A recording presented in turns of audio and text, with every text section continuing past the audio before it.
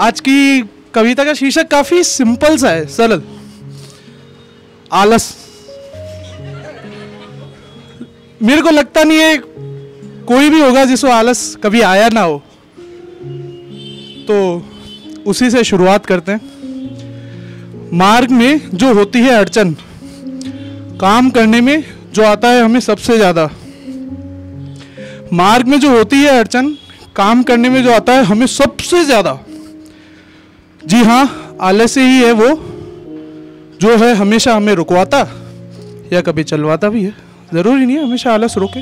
तो गौर से सुनिएगा, क्या कहता है ये आलस?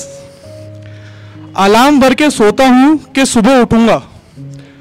अलार्म भर के सोता हूँ कि सुबह उठूँगा, सुबह उठकर करता हूँ उसे बंद। हाँ जी, ये वही आलस है जिससे रहते हैं हम सब तंग।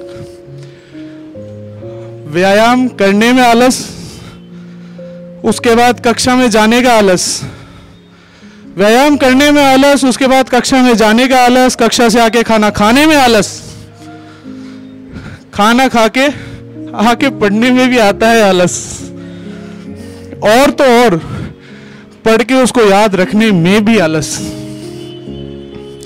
याद रहा, क्या नहीं रहा याद रहा क्या नहीं रहा उसको सोचने में भी आलस। आलस आलस आलस। अभी सुनकर लग रहा है, नहीं करना चाहिए ना ये आलस। करना चाहिए, नहीं करना चाहिए। करना चाहिए, नहीं करना चाहिए।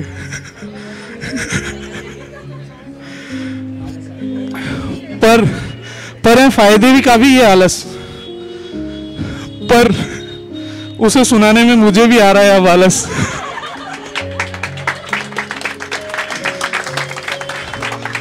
सुनोगे?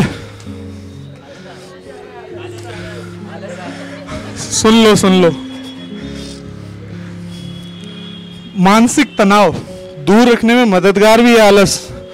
तो नींद से मिलने वाले सुकून का, सुकून में भी यही आलस। मानसिक तनाव दूर रखने में मददगार है, आलस। तो नींद से मिलने वाले सुकून में भी यही आलस। जिस चीज़ को जानता है न्यूटन का भी आलस। पेड़ के नीचे तो सो रहा था एप्पल गिरा, तभी तो आया। आलस में तो था समझो? आलस। दिमाग को चुस्त रखता भी यही आलस तो बैठकर टीवी देखने में आनंद भी दिलाता यही आलस। बूझो तो सच में कुछ भी नहीं है आलस। बूझो तो सच में कुछ भी नहीं है ये आलस।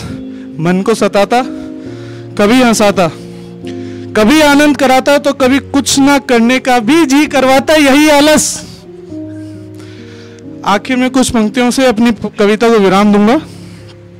जो अच्छा लगे, जो अच्छा लगे, वो करो। जो अच्छा लगे, वो करो, वरना साथ तो रहेगा ही है, आलस। धन्यवाद।